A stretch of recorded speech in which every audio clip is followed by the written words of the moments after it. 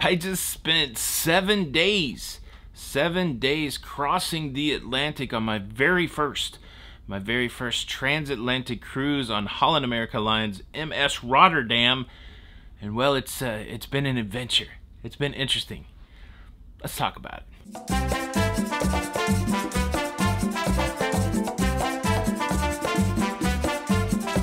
Hey, what's up, everybody? Welcome to La Lido Loca. I am your host, Tony, here to tell you about my very first crossing of the Atlantic Ocean on a cruise ship. I really didn't know what to expect before I embarked, but I did get a lot of comments from people telling me some of the things that would be a challenge.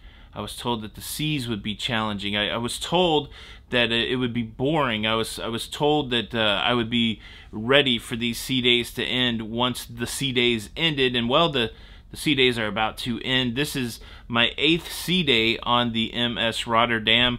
We're, we're, we're across the Atlantic at this point. We're almost to the UK.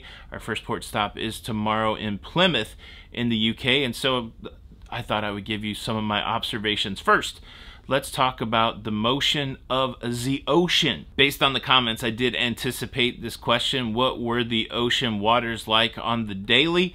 And so I figured the best way to describe that was to show it to you visually.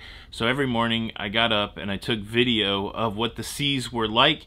And so uh, we'll quickly look through what the seas look like every day for the last seven days. Good morning, everybody. It is the 8th of April, Saturday. And uh, a lot of people have asked, what's the seas going to be like on this transatlantic? Will it be choppy? Well, here's a sea check. Sea check for the first day of the cruise, Saturday, the 8th of April. It's a little chilly, but it's uh, waters are calm. All right, here's a look at the ocean for the 9th of April. It's our second day at sea. Uh, we are somewhere in the Atlantic supposed to be traveling around 16 knots. The water's pretty smooth. There you go. Day two. All right, here we are, the 10th of April. This is our third day at sea since leaving New York. And uh, yeah, the water remains fairly calm. Not much different than yesterday. There's a little movement, but it's uh, it's not too bad. So, not super cold either, which is surprising. So, there you go. There's a look at the sea on the 10th of April, 2023. All right, here's the sea check for April the 11th. I believe this is our fourth day at sea, and we are uh, about halfway through our crossing. Uh, today's this, the sea's a little more rolly, not huge waves out there, but you can definitely feel the roll of the sea. But yeah, here's what it looks like. April the 11th, 2023. All right, here we are on the 12th of April, our fifth sea day. Oddly, it's getting warmer, uh, but of course the seas are getting a little more rough. It's pretty, like last night, it rolled a lot, a lot of creaking in the cabin, but uh, overall not too bad. But yeah, day five, April the 12th. All right, here we go. Here is the What's the Sea Like check. It is April the 13th, 2023. We are still making our way across the Atlantic from New York to Rotterdam in the Netherlands. We do have stops in the UK. Uh, but yeah, fairly calm today. The thing to remember is that this ship is equipped with stabilizers, so it adjusts to the sea.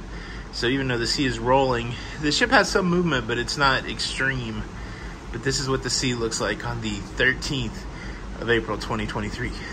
All right, here's what the sea looks like on April the 14th, 2023. I think we're day seven of the transatlantic. It's been seven sea days. Uh, but yeah, it's uh, looks a little calmer than yesterday. The ship is moving from side to side fairly decently, so we got a little bit of a roll, but um, I believe that the captain said there would be four meter swells today, but uh, that certainly doesn't look like 12 feet. Yeah, maybe it does. I don't know. But uh, yeah, we are almost uh, almost to where we're going, almost to Plymouth. So one more day. There you go. So as you can see, there were never really any of these fantastical stories of rough seas. I've seen a lot of these headlines about transatlantic crossings where the seas were rough that day, my friend and people with you know very dramatic thumbnails that you know the the the waves were you know 20 feet high. We haven't had any of that at all. And of course there's technology on this cruise ship that keeps the ship stable even in higher seas.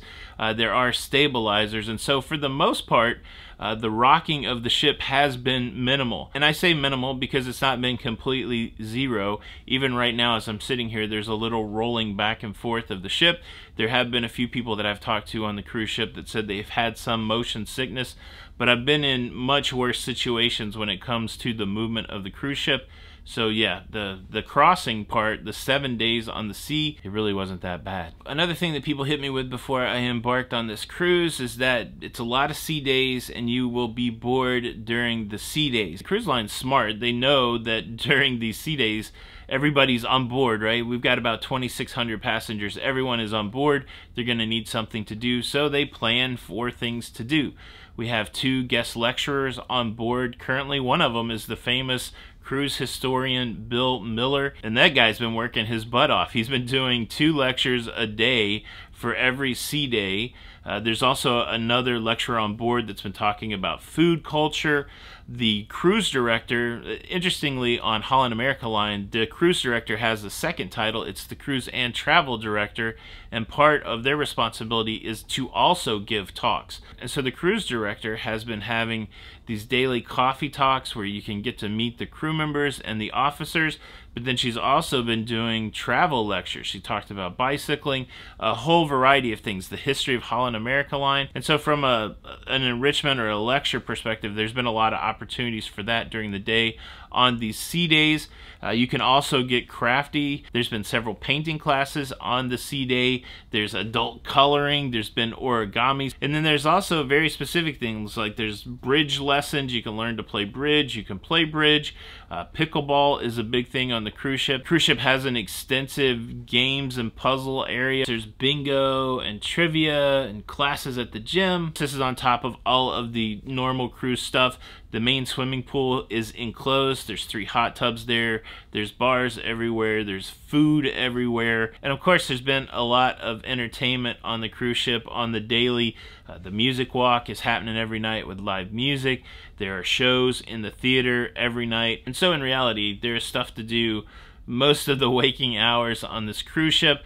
So, you know, if you find yourself bored, you know, I, I don't think that's on the cruise line. I just want to say that. So it comes to the question, to me particularly, have I been bored on this cruise ship with all of that stuff to do? And I can answer emphatically, no, I have not been bored. And let me tell you, the most surprising thing about these seven days at sea is how quickly they have gone by. We've had some time changes, which has been interesting the way they do time changes on this cruise ship. Uh, we've had four time changes, so now we are four hours ahead of time from where we started in New York City, but they haven't been doing the time changes in the middle of the night. They've been doing the time changes every other day at noon. And so once it got to be noon, lunchtime, we would move the clocks forward to 1 p.m. And we've done that four times. And they said the primary reason to do that was to not disrupt passenger sleep, which is appreciated, and also not to disrupt the crew sleep. And so the thing that's been wild is on those days where the hour jumped forward, it, it kind of you know shortened the afternoon. So you had to be conscious of your dinner plans because you don't want to just eat lunch and then all of a sudden it's time for dinner. So these seven days have gone by really quickly and now here i am on the eighth sea day and i'm a little bit in a panic. You know i'm a ship person. I'm not usually excited about going to port but this is one of those cruises where i'm very excited to go to port and so I want to be ready. So I've got to make sure that I got all my batteries charged and all my memory cards cleaned off and all my gear ready to go. And I've got to have a plan because I've booked some, you know, all day excursions in most of these port cities. And it's just the beginning. I'm on a 10 day cruise after this that I think only has two sea days. And so for the next 12 days, 13 days, it's just going to be go, go, go, go, go. And uh, yeah, I'm gonna miss. I think I'm gonna miss these seven sea days that I've already enjoyed. Look, I know the experience is probably not the same for everyone. I'm sure people have been on transatlantics that haven't had fairly calm seas and that maybe changed the dynamic. But for me, I would I would take this week at sea all all week long, all day long. It's been great. I've enjoyed it. Uh, I would recommend it. Uh, but you know that's just my experience. Let me ask you: Have you done a transatlantic before? Uh, how do you feel when you have five, six, seven, eight sea days in a row? Do you like it? Do you not like it? Uh, help inform the community down in the comments below. Hope you enjoyed this video. Show your support by hitting the like button. This is Tony for La Lido Loca. If you have any questions, let me know. and until the next time, we'll see you on the Lido. Bye.